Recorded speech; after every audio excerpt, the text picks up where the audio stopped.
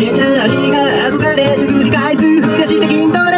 だけど結果を出せずポジション争い破れ自己評価が高すぎると批判された関節痛めてリハビリ野球やる狂気ないうちだそんな時に妹とにか東京五輪で活躍銀メダルを獲得大きな刺激を受けた妹と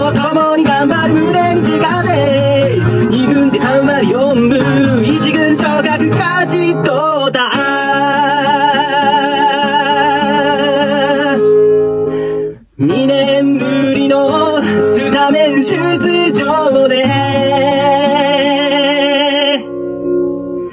勝利へ導くタイム。リー